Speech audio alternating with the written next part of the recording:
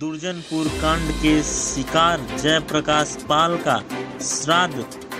कर्म शनिवार को गमगीन माहौल के बीच किया गया। शुरुआती दिनों में इस मामले को हाई प्रोफ़ाइल बनाने वाले किसी भी दल अथवा पार्टी के नेता नहीं पहुँचे। इसको लेकर गाँव में तैनात पुलिस के जवानों को राहत मिली।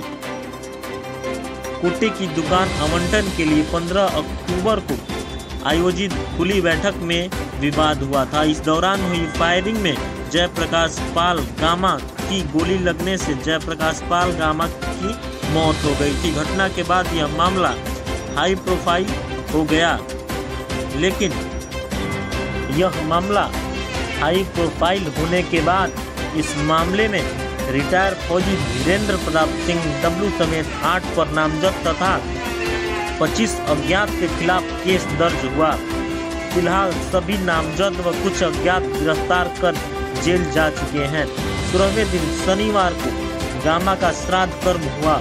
इस दौरान गामा की पत्नी धर्मशिला के साथ ही परिवार के अन्य लोगों के आँखों में आँसू झलकता रहा। घटना के बीच से ही घर पर तैनात पुलिस के जवान शनिवार को पूरी तरह से अलर्ट रहे।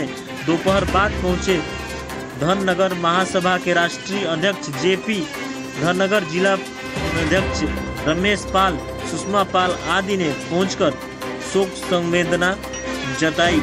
रिटायर हो गए सस्पेंड एसआई सदानंद। रेवती नौकरी के अंतिम पड़ाव पर पहुँच चुके रेवती थाने व तैनात एसआई सदानंद यादव सेवानिवृत्त होने से 16 दिनों पहले ही निलंबित हो गए।